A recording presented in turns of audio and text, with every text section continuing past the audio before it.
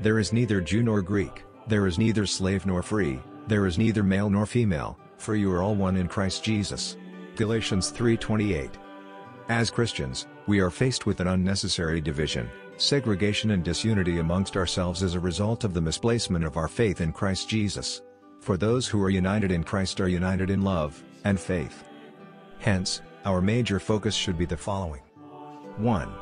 To hear the Word of God always, and be ready to put it to practice. 2. Our faith in Jesus Christ should lead us to love God deeper, and to love our neighbors. 3. Our common language as Christians, must be love.